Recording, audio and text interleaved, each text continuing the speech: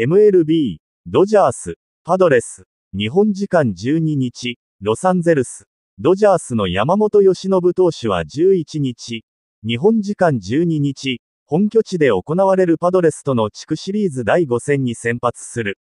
デーブ・ロバーツ監督は、勝てば3年ぶりのリーグ優勝決定シリーズ進出が決まる大一番の先発を託したことについて、吉信は通常通りの休み、登板間隔、だ。ジャック、フラハティも通常通りの休みだけど、登板間隔は、山本より、少ないからだ、と説明した。山本は5日、同6日、の第1戦では3回5安打5失点だった。中5日を明けての登板で、パドレスはダルビッシュ有投手と投げ合う。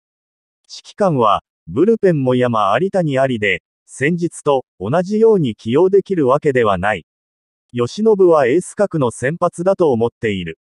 今こそ、能力を発揮する時だ。降板した場合は複数の選択肢があるが、私たちは彼が先発することに自信を持っている、と大きな期待を寄せた。指揮官は、山本の好調のバロメーターについて、カーブ、スプリット、スライダー、速球の請求。機能している球種を見つけ、相手の反応を見ること、と話し、請求が正確であれば、私たちにとっていい日になるだろう、とポイントを挙げた。序盤には苦戦もあったが、間違いなく、MLB の方が、打者がいい。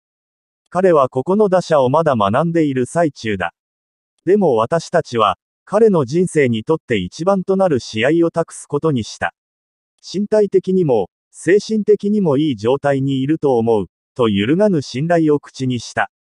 なおドジャースの大谷翔平投手は、1番、指名打者、でスタメン出場する。ここまで地区シリーズは全4試合に出場し、打率250、16打数4安打、1本塁打、4打点となっている。